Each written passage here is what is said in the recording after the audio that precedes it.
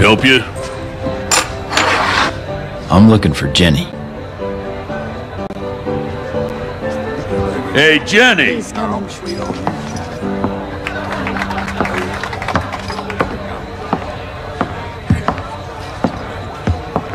Where'd you get this? Fella named uh, Ned White give me it. Told me to come here and ask for you. I remember Ned.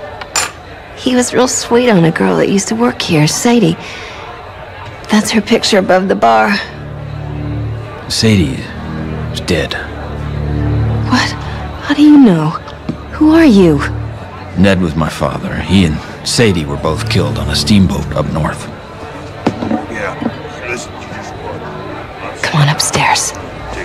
God damn it, girl! How long we gotta wait before you get a proper poke? Till I tell you. Now have another drink on me, and I'll be with you shortly. He ain't getting a poke before us. Let go of me! Not till I'm done with you, bitch. Come on! Yeah!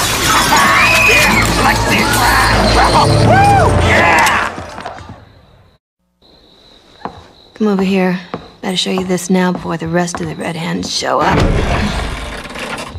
It's all yours. Night before she left, Sadie begged me to keep it safe till Ned came for it. Poor girl was in love with him, I think. Ned never cared much for six guns. Rifle and tomahawk were his choosing. Where'd Sadie go from here? Empire, New Mexico.